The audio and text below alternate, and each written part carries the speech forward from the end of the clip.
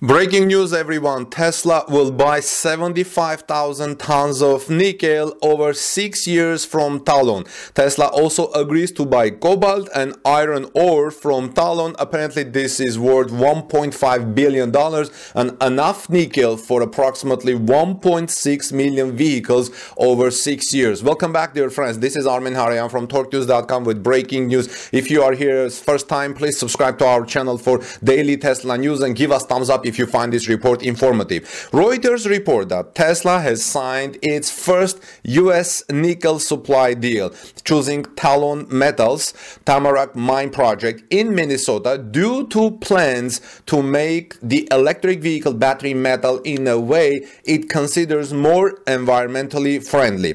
The deal announced on Monday comes as demand for nickel is expected to jump over the next decades as electric vehicles go mainstream. Nickel bolsters energy storage in a battery cathode, which in turn extends an electric vehicle's range. Tesla chief executive Elon Musk in 2020 pleaded with the mining industry to produce more nickel in an environmentally sensitive way. That was a quote for Elon Musk. In an environmentally sensitive way. Musk also derided US nickel production as objectively very lame by sourcing from Talon's Minnesota project, a joint venture with Rio Tinto stated to open by 2026. Elon Musk secures a key US source of the metal for Tesla battery factories in Texas and Nevada, says Reuters, while also reducing the company's supply lines. The automaker last year signed nickel supply deals with BHP in Australia and from New Caledonia.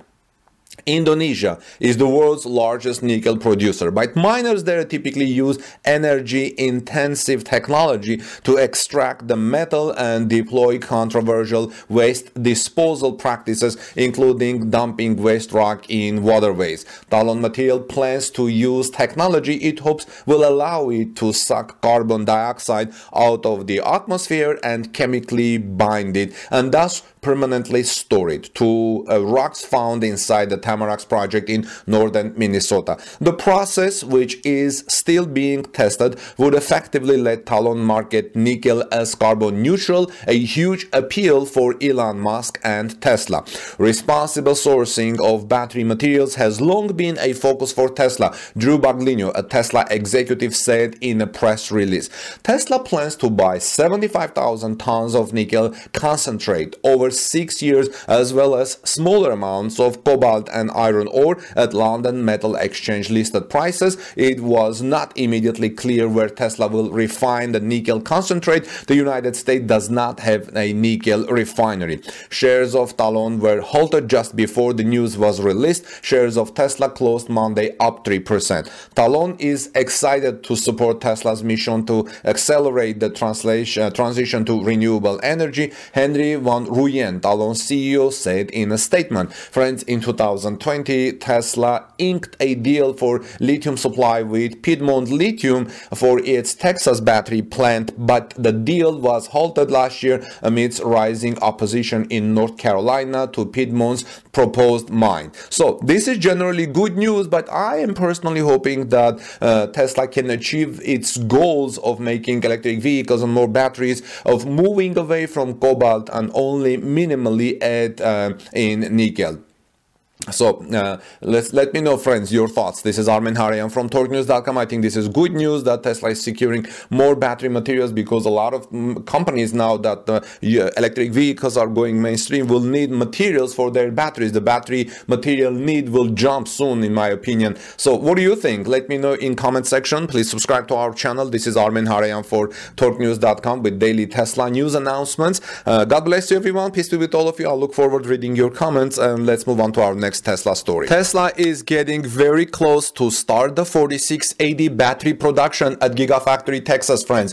Joe Tegtmeyer, who regularly provides Gigafactory Texas flyovers, drone flyovers and information, has tweeted these images saying some interesting special deliveries are happening at Gigafactory Texas, including 4680 modular production equipment being loaded into the third floor of the battery cell structure. This has been a busy Monday for Gigafactory Texas friends. Tesla Giga Texas continues to receive equipment to produce the 4680 battery cells, which are very vital for Tesla's success, Tesla's growth, and so on. Battery modular production equipment was delivered to the third floor of the battery cell workshop at the beginning of this week. Tesla's 4680 battery cells are one of the company's most important products as they will reduce the cost of electric vehicles, improve their performance and range, and also contribute to even faster growth in the manufacturer's production capacity.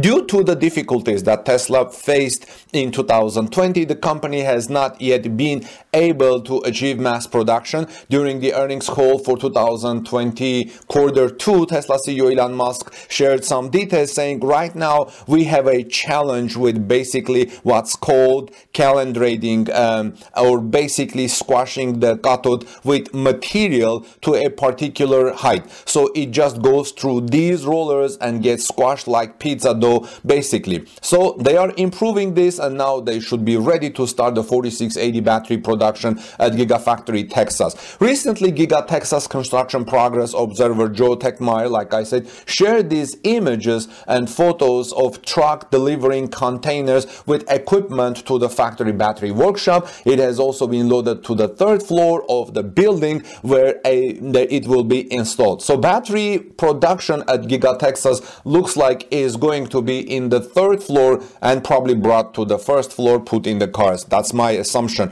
What do you think, friends? So delays in mass producing of 4680 Tesla battery cells may have worried some investors, says Eva Fox from Tesmanian, but the shipment of this equipment to Giga Texas could indicate Tesla is seriously making some steady progress with 4680 battery production. Since the equipment has been supplied to Giga Texas for several months now, this also means that the manufacturer Tesla is actively preparing to launch mass production of its battery cells. Mass production is expected to launch very soon at Gigafactory Berlin 2, where we're getting some latest information which I am about to reveal in my next story. So please stay with us until I prepare my next report. This is Armen Hareyan from TorqueNews.com. Please subscribe to our channel for daily breaking Tesla announcement, battery announcement, electric vehicle announcement, and have a wonderful day. God bless you, everyone. Peace be with all of you. And let's move on to our next Tesla story. I have two positive announcements about Tesla Giga Berlin this morning.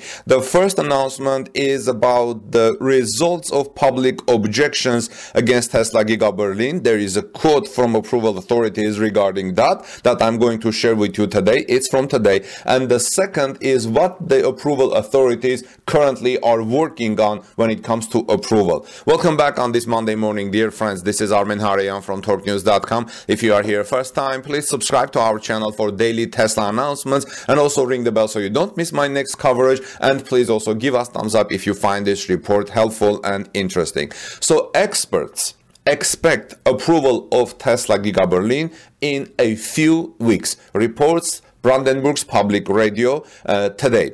And the first announcement is that the officials are currently checking the plant safety precautions for accidents in the factory. So, you know, now, uh, approval of Tesla Giga Berlin is that the approval authorities need to go through different phases, checking this, checking that, make sure this works well, make sure that works well, what happens if there's an accident. So today they're working on uh, plant safety precautions that Tesla has in place for Giga, Giga, Giga Berlin in, in case of an accident in the factory. And the second regards the objections from population against the uh, Giga Berlin. The objections from the population to the industrial settlement, meanwhile, did not result in any quote unquote significant obstacles to approval, as the uh, LFU announced on Friday. So this is a good news that the objections that have slowed down the Giga Berlin's approval for so many months now have not resulted in any significant obstacles to approval, as the LFU announced on Friday. Now, what is LFU? LFU is the Environment State Environment Agency, which is very very pop, uh, powerful and is the approval authority for Giga Berlin. As I reported on Saturday, Tesla is now allowed to test 2,000 bodies in its electric vehicle factory Giga Berlin in Grünheide. The State Environment Agency allowed this last Friday. In October of last year, in 2021, the LFU had already given Tesla pre-approval to build 250 bodies. With this, the company wanted to test how well the press shop and paint shop of Giga Berlin work. According to LFU, Tesla has informed the authorities that the resulting bodies are of poor quality. This is why Tesla needs more time and more testing. This is why Tesla has requested uh, 2000 bodies to be built as test and wants to test the production machines again uh, with the construction of another 2000 bodies. The LFU allowed this in a pre-approval on Friday as I reported Saturday. However, the company is not allowed to sell these vehicles because the factory has uh, still not received the final approval. Tesla has only built so far with pre-approvals and will have to tear everything down if uh, the final approval is not given for any reason. And as I said in the beginning, experts expect Giga Berlin's approval in a few weeks. The officials are currently checking the planned safety precautions for accidents in the factory. The objections for the population, uh, from the population to the industrial settlement Giga Berlin, meanwhile, did not result in any quote-unquote significant obstacles to approval, which is good news, as the LFU announced Fridays. Well, friends, let me know your thoughts on all of this, I think it's good that we see that the approval authorities are actively working, checking this, checking that, and it is making very good sense that the experts expect now the approval to come in a few weeks. This is Armen Hareyan from TorqueNews.com. Have a wonderful rest of the day. Look forward to our next Tesla coverage today. We will have, I'm planning five Tesla stories today. God bless you, everyone. Peace be with all of you. I'll look forward to reading your comments and your thoughts in the comment section below. Have a wonderful day, and let's move on to our next Tesla story.